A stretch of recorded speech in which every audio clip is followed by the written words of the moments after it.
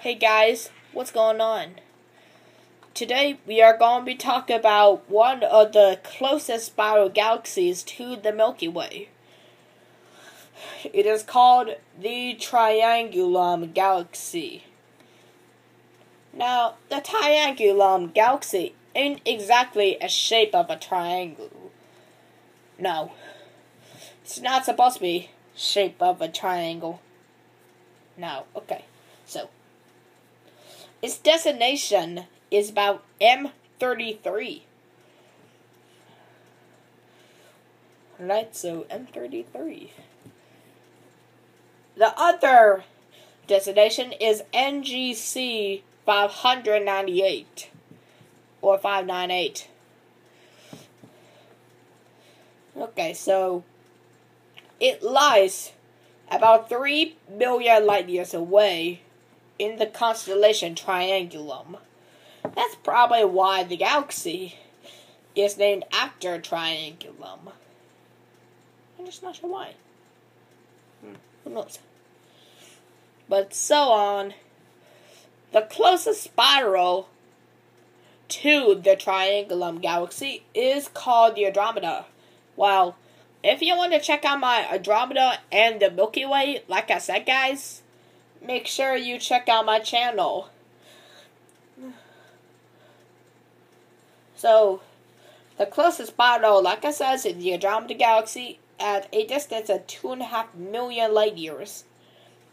All three members of the local group, all three are members of the local group, including the Triangulum, the Andromeda, and the biggest galaxy in the world, or not in the world, the space system, is the Milky Way. A collection of about 50 galaxies in our neighborhood of space is called the local group. Okay, so that's the introduction to it. Is the type of galaxy, like I said, spiral, or this way.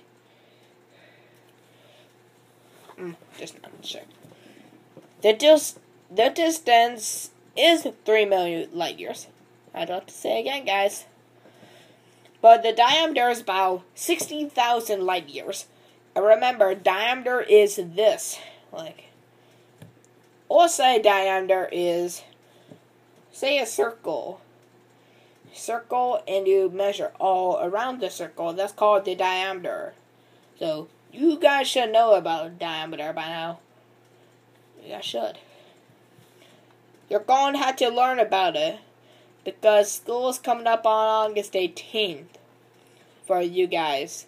Middle, high, and elementary, especially elementary guys. You're going to have to learn about diameter.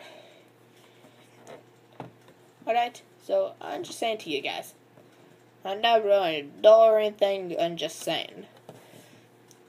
But the mass is about 100 billion solar masses. The stars there is is about 40 billion stars. Hmm, a very good, very good difference against 140. About more than half of the mass of what Triangulum Galaxy has to the number of stars. Very cool. Now, the Triangulum is formally described as a spiral galaxy with weak or possibly, ooh, not, central bar and its loosely wounded arms. Like, ouch. Inmates from the galactic core. Now, when I'm meaning galactic core, is a nebula, a cloud of gas and dust mixed in and boom, you created a nebula. Or should say, nebulousness. That is called an H2 region. Areas such as this are prime regions for star formation. Now, when I mean star formation, I mean forming stars. Now, when I mean prime region for star formation, the Triangulum Galaxy is very active making stars. Its star birth region scattered throughout its spiral arms. Its star birth rate is several times more than the, and the Andromeda. Very interesting. Cool, too. Now, Andromeda and the Triangulum Galaxy are linked by streams of hydrogen gas in the bed of stars. And remember, guys, like I said, hydrogen is atomic number of one. Of one. One. Now, embedded stars, um, okay.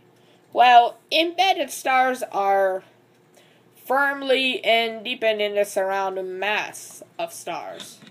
So, like, Firm stars is what I'm talking about. Yes, so if you don't know what the beta stars is, they're firm stars. The two galaxies may have a close interaction in the past, and it looks as if they will do so again in about two and a half billion years. So, yeah, that's probably going to have to be yeah. That's probably going to have to be like.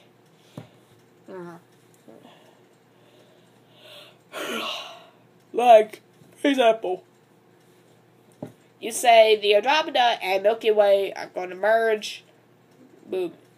Yep.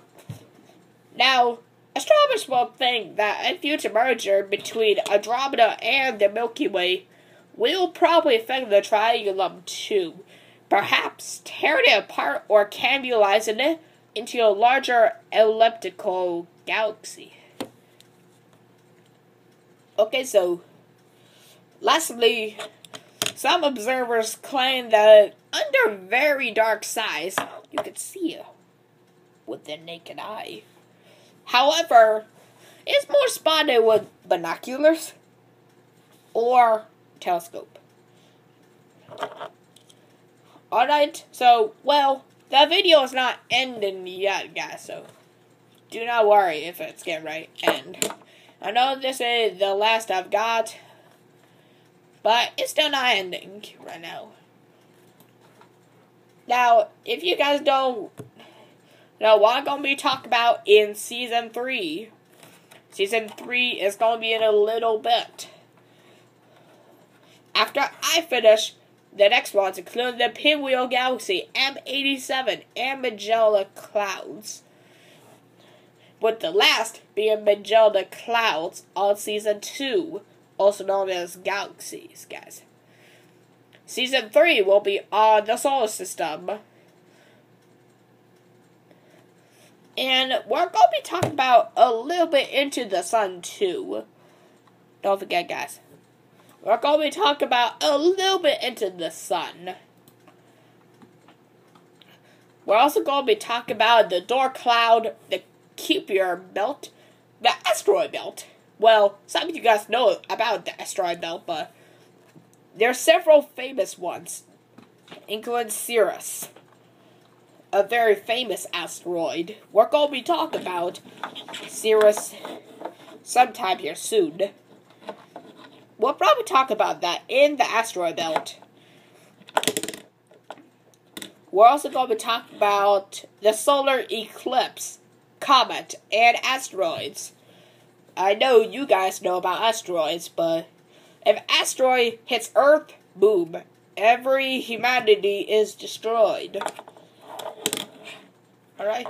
So we're going to be talking about asteroids, comets, solar eclipse, sun, the Oort cloud, Kuiper belt, and asteroid belt.